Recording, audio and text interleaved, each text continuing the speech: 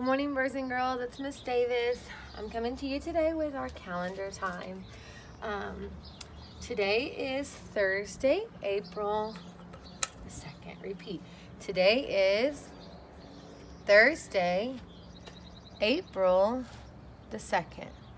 Well done. Let's go ahead and sing the Days of the Week song and then I'm going to ask you some questions. Ready? Sunday, Monday, Tuesday, Wednesday, Thursday, Friday, Saturday. Sunday, Monday, Tuesday, Wednesday, Thursday, Friday, Saturday. Today is Thursday, today is Thursday, today is Thursday all day. Today is Thursday, today is Thursday, today is Thursday all day. Okay, so if today is Thursday, what was yesterday? What was yesterday? If you said Wednesday, you are correct. Okay, if yesterday was Wednesday, today is Thursday, tomorrow will be, what will tomorrow be? If you said Friday, you are correct. Well done. Tomorrow will be Friday and we have a very special six-year-old birthday tomorrow. It will be Kaylin's birthday tomorrow. Well done. Okay, we're gonna move over here to our weather. Our weather is very cloudy today. It is cloudy. So we're gonna put it on cloudy. And I checked the weather and it said the high, that means the hottest it's supposed to get today is 71. So I go to 70 and go to one mark over. So that's it's, it's, it's supposed to be warm today, although it's a little windy. So I think that it might um, be cooler than we think. All right. I'm going to pull up morning message.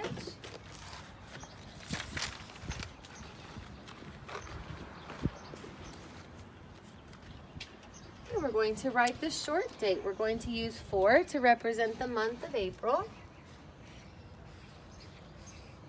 We're going to use two to represent the day because it's the second day of the month and 20 to represent the year. So our date is 4 slash 2 slash 20. Okay? So whenever we start a sentence, we always start with a capital letter and we end with a stop mark. Uh, a stop mark can be a period, an exclamation point, or a question mark. Um, when we write our sentences, we use words to make up our sentence. We use letters to make up our words, and we have space between our words so that we know where the words start and stop. All right, I'm gonna start my sentence. We, I'm gonna put space,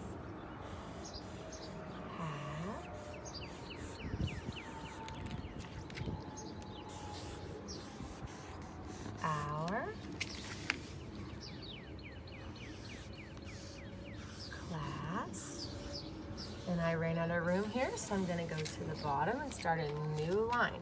We have our class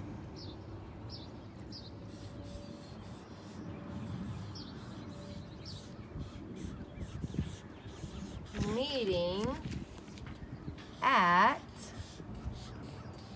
11. We have our class meeting at 11. Repeat. We have our class meeting at 11. Please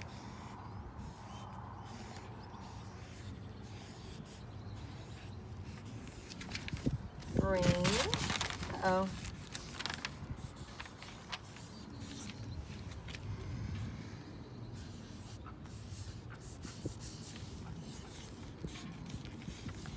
something.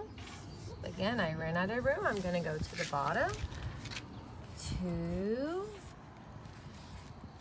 show and tell. Please bring something to bring something to show and tell. So when we come to our meeting in a just a little less than an hour, I want you to bring something to show and tell. All right, today is day four for our eggs. I'm gonna show you what day three looked like, which was yesterday. And then today is day four. What do you notice about the eggs?